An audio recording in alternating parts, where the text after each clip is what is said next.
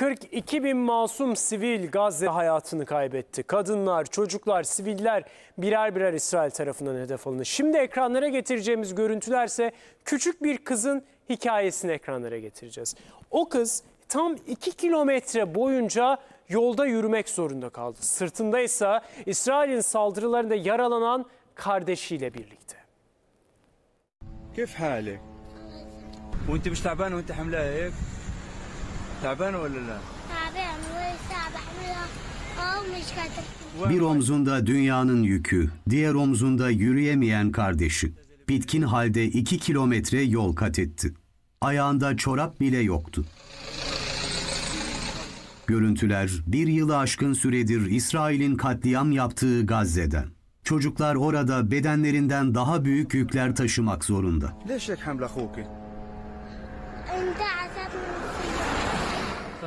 Ne sıcak asfaltta yalın ayak yürümeyi umursadı ne de üzerlerine düşen bombaları. Tek isteği ayağından yaralanan kardeşini kaldıkları çadıra tekrar götürebilmekti. Enkazların arasında bir saat boyunca yürüdü. Daha gidecek, kardeşini omzunda taşıyacak çok yolu vardı. Ta ki karşısına onları fark eden bir gazeteci çıkana kadar. Ala Hamuda 6-7 yaşlarındaki bu kız çocuğuyla arasında geçen diyaloğu sosyal medya hesabından paylaştı.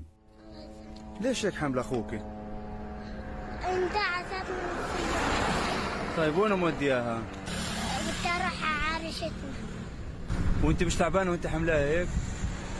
تعبانة ولا لا؟ تعبان ولسه بعملها آه مش قادر وين رايح أنت هالقيت؟ أنا رايحة منتزه البريد في المنتزه البريج؟ آه طب تعال أخذك معايا Gazze'li iki küçük kız kardeşin görüntüleri birçok kişi tarafından bedenlerinden daha büyük yükler taşımak zorunda kalan Gazze'li çocuklar notuyla paylaşıldı. يلا اطلع بدي اخذها معايا